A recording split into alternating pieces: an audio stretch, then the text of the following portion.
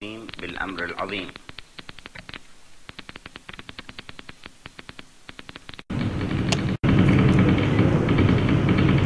وهل الأمر العظيم إلا ما كان من العظيم جل جلاله وتعالى في علاه وإلهنا العظيم ختم الأنبياء بأعظم خلقه وأرسله إلينا بهذا الدين العظيم إدراك هذه العظمة. أساس لنا في انطلاقنا في القيام بأمر الدعوة إلى الله.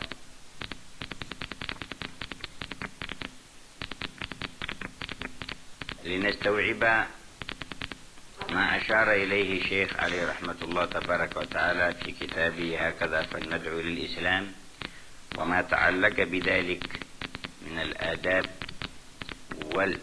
والوسائل والأساليب التي نقلت إلينا عن الصحابة والتابعين وتابعيهم بإحسان.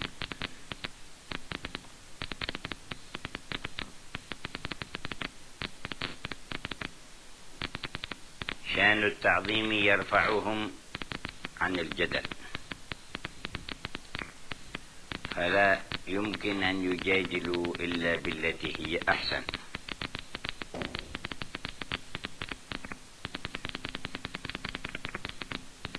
ولا يكون الذي هو أحسن إلا ما رجي من القيام به ثمرة طيبة.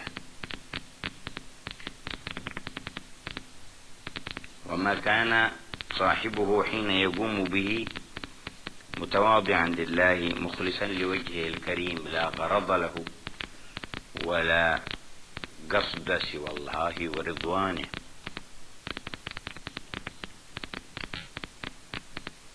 تماما من شأن هذا التعظيم أن ينزع من قلوبنا خشية غير الله.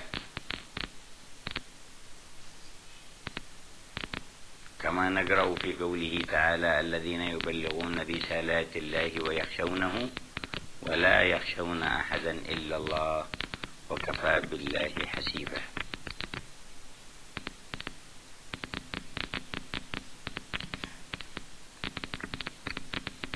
شان هذا التعظيم يرينا أن الدعوة إلى الإسلام العظيم أكبر وأجل من أن تنحصر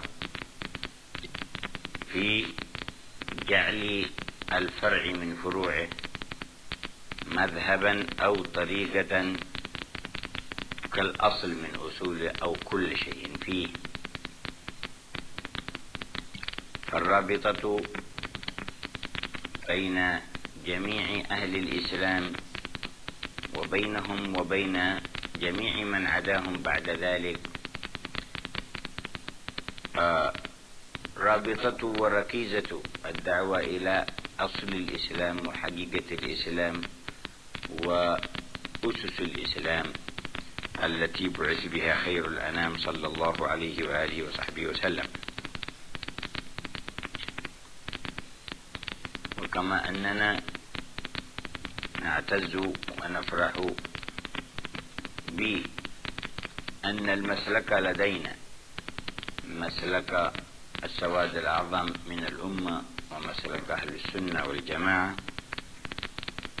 فإننا بهذا المسلك نستوعب ونحتوي مختلف أهل المسالك الأخرى من أهل ديننا ثم من كان خارج هذا الدين نتسع لهم فكرا ورحمة وإرادة خير وإنجاز واستعمالا لما جعله الله تبارك وتعالى سببا ووسيلة من جهة البرهان والدليل مقرونا وملتصقا تماما بالرأفة والرحمة والعاطفة والخلق الكريم. كما نقرأ قول الله في أداء النبي محمد صلى الله عليه وسلم لدور هذه الرسالة في واقع الناس فقال فبما رحمة من الله لنت لهم. ولو كنت فظا غليظ القلب لانفضوا من حولك. فاعف عنهم واستغفر لهم وشاورهم في الأمر. كل هذه الأوامر تتعلق بعواطف ومشاعر وأحاسيس وأخلاق. فمع كونه صلى الله عليه وسلم أفصح الخلق لسانا وأوضحهم بيانا أكد عليه في جانب العاطفة في جانب الخلق الذي نحتاجه والذي يترجم حقيقة من حقائق هذا الدين عند خطاب الصغير والكبير والذكر والأنثى والمسلم وغير المسلم.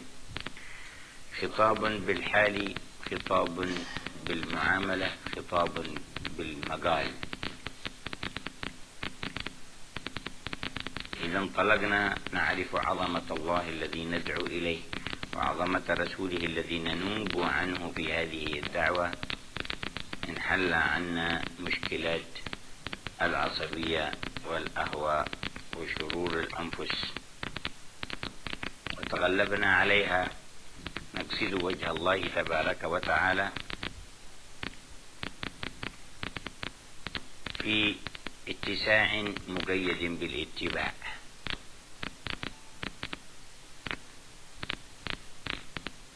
مع أن قولنا في اتساع البعد عن كل شؤون ضيق الأفقي فكرا وفهما وطرحا وعن كل تشدد وتعسير. ومعنى قولنا المقترن بالاتباع والقائم على الاتباع أنه لا يمكن تفسير هذا الاتساع بتجاوز الحدود في إحلال ما سبحانه وتعالى أو التهاون بما فرض الله جل وعلا.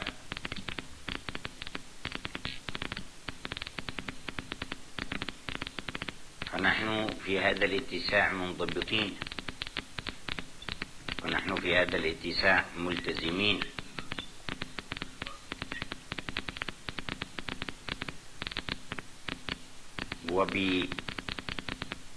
وبهذا الوصف أو الجمع بين هذين الأمرين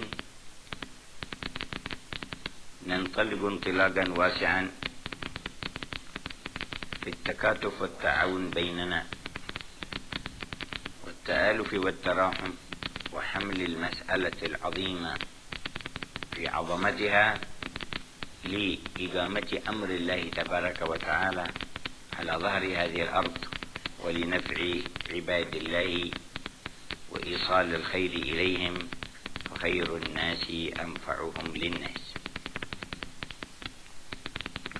نعم ما اجتمعتم عليه من هذا الهم وهذه الوجهة أخذ الله تبارك وتعالى بأيديكم وكتب لكم كمال التوفيق وفتح لكم بذلك مجالات واسعة في التعاون والتكاتف والتآلف.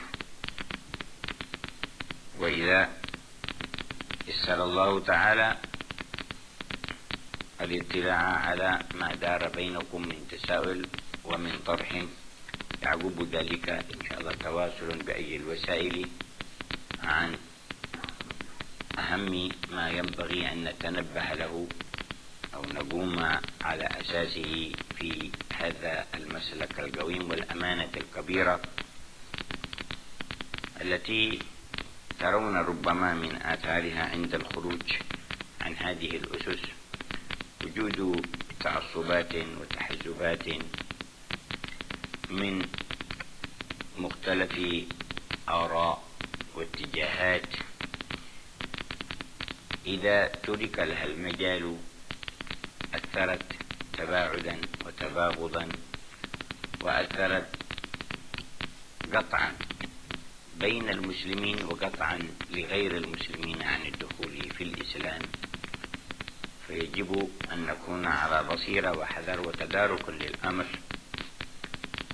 لا نفسح المجال للقواطع بواسطة تعصب بفكر وأفق. وإرادة تفسير المصطلحات والكلمات بشيء مالت إليه النفس أو رسخ فيها معرضين عن حقيقة مدلول ذلك المصطلح أو اللفظ وعما يسعه ويتسع به. فنحن في حاجة إلى هذا الوعي والفهم والسعة. في أمر هذه الرسالة والدين الذي وصوله إليكم عبر من قامت مفاهيمهم على الموروث مما جاء عن الصحابة والتابعين. يقتضي أن تتسعوا لما يطرأ عليكم أو يقع فيه من من كانت دراسته لبعض شؤون الإسلام من زاوية معينة أو تحت نظر متعصبين على آراء معينة ومفاهيم محصورة فأمامكم في مثل هذه البلدة أمانة كبيرة ومسؤولية عظيمة يجب أن تتعاونوا وتتكاتفوا على القيام بها ومجاوزة عقبات كل موجبات التفرق والتشتت والتباعد والتباغض وتشتيت الجهود التي إذا اجتمعت عظمت ثمرتها في محيط المسلمين ومن يعيش معهم من غيرهم بل وكانت نافذة أيضا إلى العالم من ورائهم الرسالة بعظمتها عالمية من رب العالم. على يد سيد العالم إلى جميع العالمين وما أرسلناك إلا رحمة للعالمين. وقد قرأتم في الكتاب المنطلق من الرحمة فهو السبب في إنزال الكتب وإرسال الرسل رحمة الله لعباده. جعلنا الله من المتراحمين وجعلنا الله من أوفر الناس حظا من رحمته. برحمة عباده وهو أكرم الأكرمين. صلى الله على المصطفى محمد وآله وصحبه وسلم وأتم الله توفيقكم وأخذ بأيديكم لما هو أحب وأطيب وأرغب وأرقى وأتقى وأنقى وأرضى له ولرسوله وبالله التوفيق وهو المستعان وعليه التكلان. وصلى الله على محمد وآله وصحبه وسلم والحمد لله رب العالمين.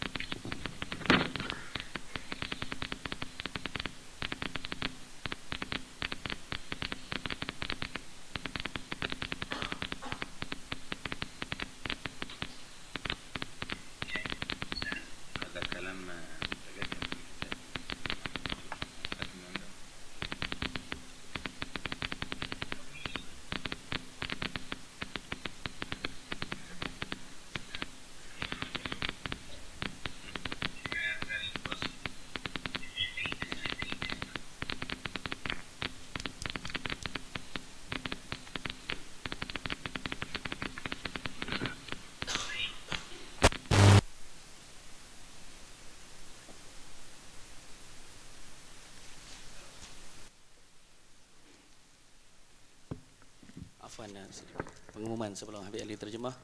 Uh, pesanan daripada pihak hotel untuk menyerahkan kunci bilik. Barang siapa yang masih belum menyerahkan kunci bilik, maka minta diserahkan. Bilik 401, 409, 414, 417, 503, 513, 521, 526, 403, 406, 410, 724, 723 Minta diserahkan kunci dengan segera. Syukran.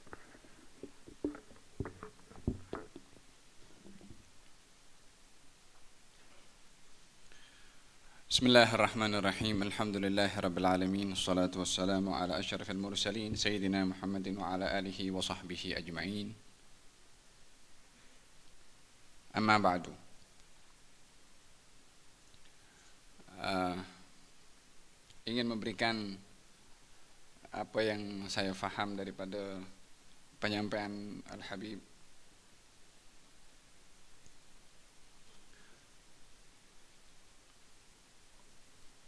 Al-Allama Umar bin Muhammad bin Salim bin Hafidh beliau mengatakan bahasanya uh, segala puji bagi Allah Subhanahu wa taala yang telah menghimpunkan dan mengumpulkan kamu semua di dalam memikul satu membawa perasaan yang begitu besar dan begitu agung. Dalam masalah yang mempunyai nilai kemuliaan dan juga keagungan. Dan permasalahan itu datangnya daripada yang maha agung. Yang maha agung menghantarkan perkara yang agung itu kepada nabi yang agung Nabi Muhammad sallallahu alaihi wa ala alihi wasallam.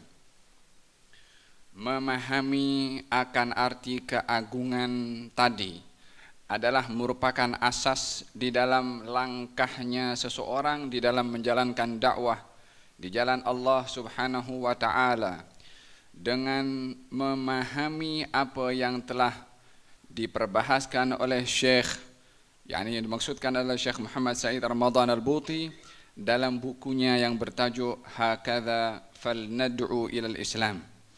Yang mana di dalam itu diperjelaskan tentang adab-adab di dalam berdakwah dan juga sarana dan prasarana di dalam berdakwah yang kesemuanya itu diambil dan dipetik daripada metodologi para sahabat Nabi yang mengambil daripada baginda Rasulullah serta para tabi'in dan diikut oleh tabi' tabi'in dan seterusnya.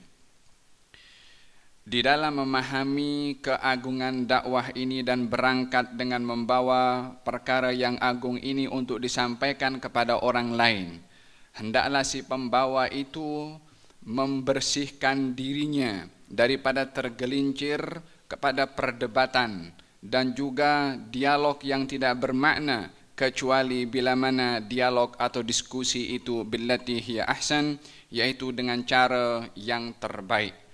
Dan tidaklah dialog itu menjadi terbaik kecuali orang yang terlibat di dalamnya hanya semata-mata ingin mengambil buah yang baik dan mempunyai sifat tawadhu dan bukan untuk membela dirinya atau pandangannya di dalam perdebatan tersebut tidak ada unsur hawa nafsu di dalam dialog itu melainkan semata-mata yang menjadi maksud dan tujuannya adalah ridha dari Allah Subhanahu wa taala. Di dalam juga memahami akan keagungan risalah ini, si pembawa amanah risalah yang agung ini adalah hendaklah berangkat daripada ketiadaan rasa takut kecuali kepada Allah Subhanahu wa taala yang mana Allah Subhanahu wa taala berfirman di dalam Al-Qur'anul Karim mereka itu adalah yakni orang-orang yang beriman tidak merasa takut kepada sesiapa pun juga kecuali kepada Allah Subhanahu wa taala. Di dalam memahami keagungan dakwah ini si pendakwah hendaklah memahami risalah yang agung ini tidak boleh hanya dibatasi kepada hal-hal yang bersifat cawangan ataupun furu'iyat dan tidaklah diangkat perkara-perkara cawangan ataupun perkara-perkara furu' berkedudukan sebagai usul, sebagai dasar sehingga dengan yang demikian kita menempatkan sesuatu bukan pada tempatnya. Hubungan yang mesti terjalin antara kita, antara orang-orang Islam dan juga antara orang-orang yang bukan Islam. Hubungan kita dengan mereka adalah mesti berdasarkan dengan dasar-dasar ataupun usus-usus yang telah ditetapkan dan digariskan di dalam agama Islam yang telah dibawa oleh sebaik-baik insan yaitu Nabi Muhammad sallallahu alaihi wa ala alihi wasallam. Sesungguhnya sesungguhnya kami merasa bangga dan gembira dengan keberadaan kita semua berada dalam satu manhaj as-sawadul a'zam yaitu satu eh, pegangan yang memenuhi alam ini daripada jumlah bilangan yaitu ahli sunnah wal jamaah. Dengan pegangan ini ahli sunnah wal jamaah kita dapat merangkumi pelbagai macam aliran-aliran baik yang ada di dalamnya ataupun yang berbeza dengan ahli sunnah wal jamaah baik dalam pemikirannya atau pandangannya kita adalah mempunyai jalinan hubungan dengan mereka di dalam di, di, di dalam keinginan untuk menyampaikan kebaikan kepada mereka, manfaat kepada mereka dan juga men, me, menyelamatkan orang yang berselisih dengan kita dengan menggunakan pelbagai macam wasilah-wasilah, dalil-dalil yang dalil itu bila mana dipergunakan untuk memberikan penjelasan kepada orang lain yang berbeza dengan kita hendaklah didasari dengan penuh kasih sayang dan juga keinginan untuk menyampaikan kebaikan kepada orang lain dan juga dengan konsep akhlak yang mulia seperti mana baginda Rasulullah sallallahu alaihi wasallam yang diperintahkan oleh Allah untuk berinteraksi dengan mereka yang, dengan mereka yang perlu untuk diperbetulkan oleh baginda Rasulullah di dalam firman-Nya fabima rahmatin minallahi linta lahum walau kunta faddan ghalidhal qalbi lam faddu min hawlik fa'fu anhum wastaghfir lahum washawirhum fil amri fa idza azamta fatawakkal 'ala Allah. Dan dengan rahmat yang dianugerahkan oleh Allah Subhanahu wa taala kepada engkau linta lahum hendaklah kamu berlemah lembut kepada mereka. Kalau engkau kasar dan keras hati, maka mereka akan lari daripada engkau. Maafkan mereka, mintakan ampun kepada Allah untuk mereka dan ajaklah mereka untuk bermusyawarah. Bila mana engkau berazam, maka hendaklah engkau bertawakal kepada Allah Subhanahu wa taala. Ayat ini adalah menyentuh bahagian penting daripada manusia, yaitu menyentuh tentang al-awatif, tentang perasaan, tentang hati dan juga disikapi dengan akhlak yang baik seperti mana ayat tersebut adalah amat jelas memberitahukan kepada Nabi Muhammad sallallahu alaihi wasallam. Walaupun baginda Rasulullah adalah orang yang paling fasih di dalam bahasanya akan tetapi diingatkan oleh Allah Subhanahu wa taala untuk menyentuh bahagian daripada awatif daripada perasaan di dalam berinteraksi kepada orang lain baik itu kanak-kanak ataupun orang dewasa baik itu perempuan ataupun laki-laki orang muslim ataupun bukan muslim dan seterusnya. Bermuamalah dengan mereka baik itu dengan perkataan dengan perasaan dan juga dengan sikap demikian yang ditunjukkan oleh Allah Subhanahu wa taala taala kepada baginda Rasulullah sallallahu alaihi wa ala alihi wasallam.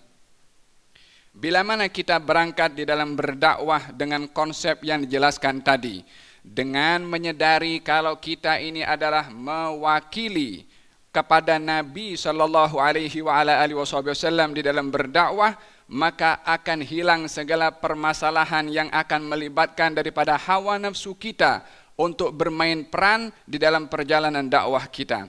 Tidak ada unsur asabiyah ataupun fanatik di dalam perjalanan dakwah kita. Bahkan kita dapat menanggulangi, dapat mengalahkan perasaan daripada hawa nafsu ataupun fanatik dengan kita mempunyai itisa, dengan mempunyai wawasan yang begitu luas, yang mana wawasan itu juga terkait dan juga terpandu mengikut mengikut kepada ikutan garis panduan yang dibawa oleh Nabi Muhammad sallallahu alaihi wasallam mempunyai wawasan adalah perkara yang penting di dalam berdakwah yaitu merasa tinggi daripada terbelenggu daripada pemikiran yang sempit ataupun yang ekstrim dan sikap yang keras. Ini adalah bahagian daripada etisa mempunyai wawasan yang tidak ter, yang tidak terbelenggu dengan sikap uh, sempit dalam pemikiran dan juga di dalam sikap.